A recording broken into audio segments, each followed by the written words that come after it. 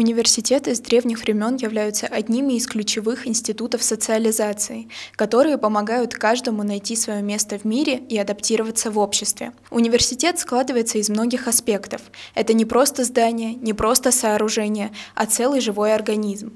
В нем так же, как и в человеке, есть сердце, а внутри этого сердца складываются самые важные частички – личности – так, важнейшей составляющей любого университета являются студенты, и именно они в большей степени формируют представление и репутацию о ВУЗе. Поэтому студенты составляют сердце университета, ведь без них организм попросту не может функционировать. А в случае РАУ это не только студенты, но и обучающиеся центры довузовского образования – ЦДО готовит будущих студентов, и из дверей ЦДО они выходят уже осознанными и подготовленными к поступлению. Обучающиеся ЦДО активно участвуют в творческой жизни университета и показывают отличные результаты на международных конкурсах. На этот раз трое обучающихся одержали победу в Международном фестивале юных режиссеров, который состоялся в Литве. Это масштабный фестиваль, который уже много лет предоставляет возможность студентам проявить свои способности. В рамках конкурса необходимо было представить короткометражные фильмы на тему «Необычный взгляд на обычные вещи».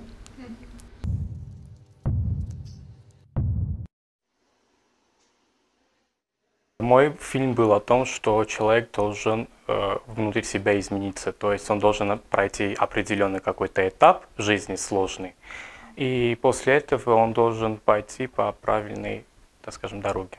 Подготовка к конкурсу длилась три месяца. Э, мы об этом конкурсе узнали в январе, и до мая мы готовились. Для меня мотивация была мой друг, у него были определенные сложности, и он в итоге пошел по той пути, которая показана в фильме.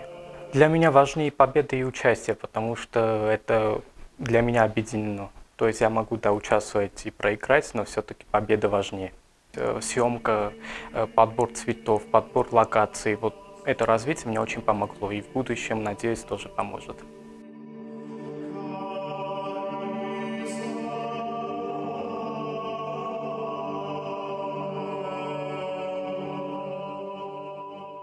Мой фильм про, был про семью, а, про сравнение семьи и создание разных тканей. Для меня важно, чтобы мой фильм увидели.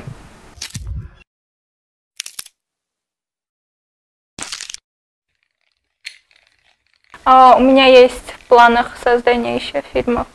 У меня уже готовый сценарий для них.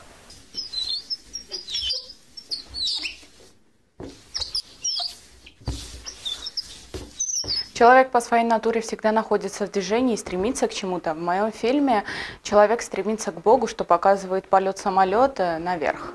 Или не считая съемки, которые проходили не только в Ереване, но и в других местах Армении. Музыка была специально создана для моего фильма. Мотивацией было показывать людям, чего сейчас не хватает и к чему нужно обращать внимание.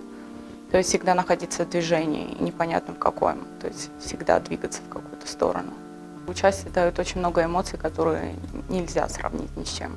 Эмоции были очень интересные. То есть когда ты видишь фильм коллег, можно так сказать, потому что э, мы не были знакомы абсолютно ни с кем, и в этот момент ты уже видишь фильм, и это новые эмоции тоже очень интересные. Смотреть то, как работает, чем работает, и какие у других мысли, кто что хочет преподнести другим людям.